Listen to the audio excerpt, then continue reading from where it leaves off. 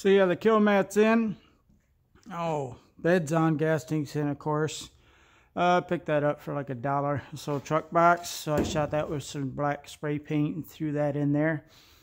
Uh, I got a couple things coming, little radio and all that. So radio showed up and I threw that on top today. Um, I got some uh, oh indoor outdoor carpeting is what it is. And the rough plan is to uh, a little technical drawing here. I got to cut this out. Now once that's cut out, I can figure out where it all fits in there. Cut it out big, of course, and then trim everything down. And then uh, once that's in place and I got everything kind of how I want it, I'm going to use this industrial strength Velcro. And I got 30 feet of this stuff. And uh, I'm going to try sticking it to the Kilmat if it doesn't stick, I got some super glue. I can super glue the Velcro to the super, to the uh, Kilmat, and then the other side I'm going to glue the uh, carpet right to the uh, Velcro. So the rough plan, rough plan, like right here, I don't have any, uh, no more trim. My trim's gone. I'm gonna have a piece of uh, the the uh, weather stripping, but I mean, I don't have any. It's gone. So yeah, I had to figure out a way to how to, to uh, make sure that carpeting when you're getting out is not going to get pulled up. So yeah, Velcro, that's what I'm doing there. And I'm probably going to go four inches wide right here in this area where you're going to have the most of this going on. In and out, you're going to have that going on. So, I mean, that's a rough plan there. And, uh, yeah. And then it's going carpet's going to go up be all easy. And the rough plan is if I once I, if it does get all nasty, I'm going to have a floor mat, of course, but if it, if the flooring gets all nasty, I'll be able to just take it to a car wash, shoot it down, or even hit it with a hose, and uh, make it look halfway pretty, and then just slap it right back in, and of course I got to take my boots off, but it's maybe six bolts to do that, so that'll come right out, and yeah, simple as that as far as the carpet goes, and uh, once carpet goes, this thing still has to get to a shop. So I started to play around with uh, making a uh, brackets for this little, for my Minion here. And my Minion's got two, uh, needs a tow bar and I picked up a Harbor Freight yada yada tow bar. So I got some quarter inch welded or bolted on there already. I'm just going to do something like that.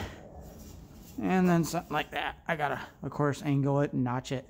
And the plan is to have it about oh, 19, 20 inches high.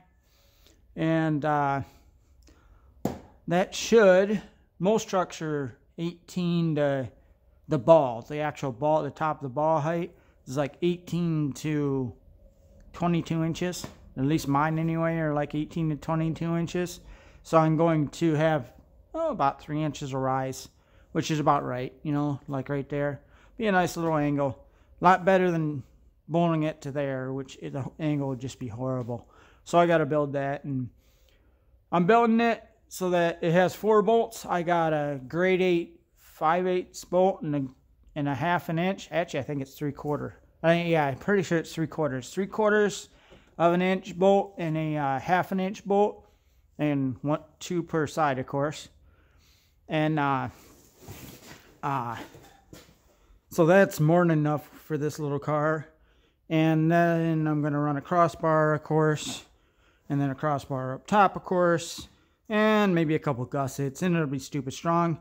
But the main thing is, is I'll be able to pull the car with the truck up to the shop, throw the tow bar and maybe the bracket, I don't know, but at least the tow bar in the back of the, the uh, Minion, and then take the Minion back to the house, and all well done.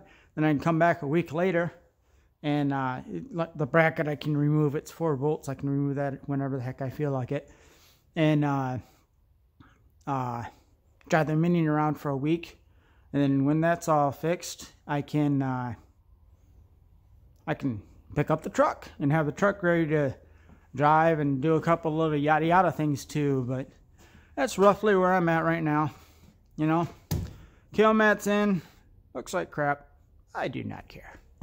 Uh, I'm not going for performance. I'm going for, or yeah, I'm not going for looks. I'm going for functionality, and it functions great. The only downside is, I got this dang wire, and I'm gonna have a bump. Bump, maybe it'll get covered with a floor mat. I gotta measure this right here, and figure out what kind of floor mats are gonna fit. I mean, it looks like I could fit some massive floor mats in here and catch everything. We'll see. I didn't realize it was this big. It's like seriously like almost two feet where I can get a floor mat and two by like three floor mat. So uh, I want one of those catch-all ones.